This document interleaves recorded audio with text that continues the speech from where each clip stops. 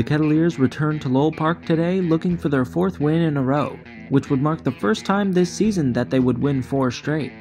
Chris Farrell got the start and got Cotuit into a precarious situation in the first, loading the bases with no outs. After out number one, he would walk Eddie McCabe to move the runners over and bring in Orleans' first run of the day.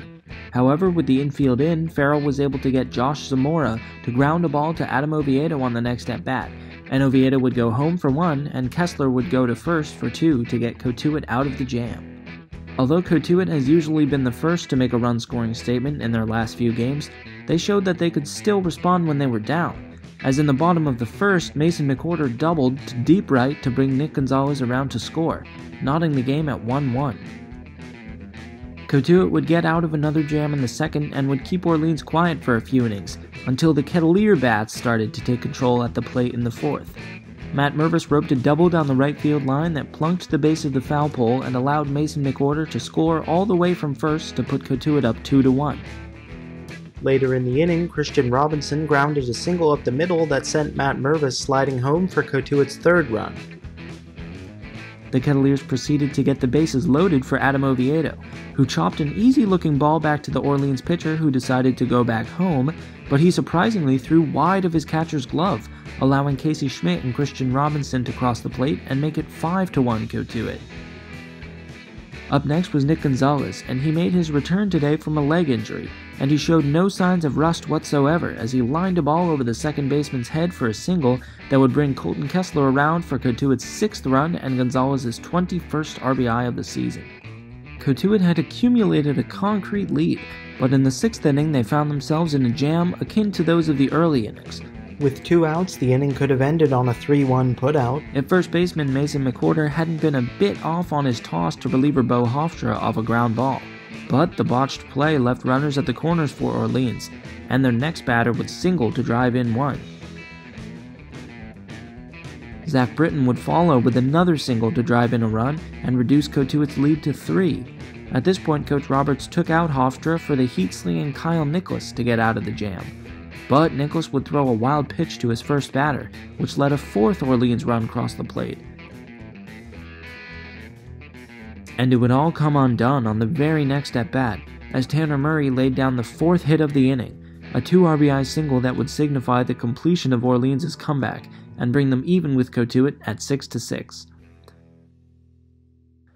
All in all, these offensive flurries used up a lot of daylight, so by the end of the seventh inning, where Cotuit couldn't generate any more offense, it was too dark to continue on, so the game was called, the final score being 6 to 6. This time means Cotuit still hasn't beaten Orleans this year, and it's the second time Orleans has come back to tie a game at Lowell Park. Today's pitching was quite the opposite of the shutdown outings we've seen in the last three games, and although Cotuit's offense continued to generate today, We've learned that their pitching and their bats need to work in tandem to really play great this season. Following this disappointing tie, Cotuit will return to Bourne tomorrow in search of another W. We spoke with Coach Roberts after today's game, and sending you now to our interview with him, and signing off for the Cotuit Kettleers, I'm Jacob Cohen. All right, Coach. It was kind of a, a tough one where you have a 6 1 lead, and obviously they have the big sixth inning. Uh, what do you tell to the guys after a game like this? Well, I thought we did some really good things early in the game because they could have blown us out in the first and second inning. Yeah. And then uh, we held them at bay for one run, and then we end up coming back and scoring quite a few runs. So it's one of those games that wasn't pretty, I think, either way. Um, and, uh, you know, again, I'm the guys have played so well and worked so hard that. Um, you know, I think we were fortunate to have a six-six tie. I'm not sure how many walks we had today, but it was probably nine or ten. And when you have nine or ten walks, you're lucky to walk away with a win or a tie. Mm-hmm. What did you see out of Cole Ramage today? He came in probably earlier than he was expecting to and pitched pretty well. Yeah, he pitched really well. He he did a, uh, by far his best outing since he got here. He kept the ball down. Excuse me, his fastball and breaking ball were pretty good. So, uh, yeah, uh, I think Cole uh, held us held it at bay until we scored. Uh, then we kind of let it get away from us. But again, uh, each player at different times during the season picks you up, and uh, and Cole did a great job of picking us up today.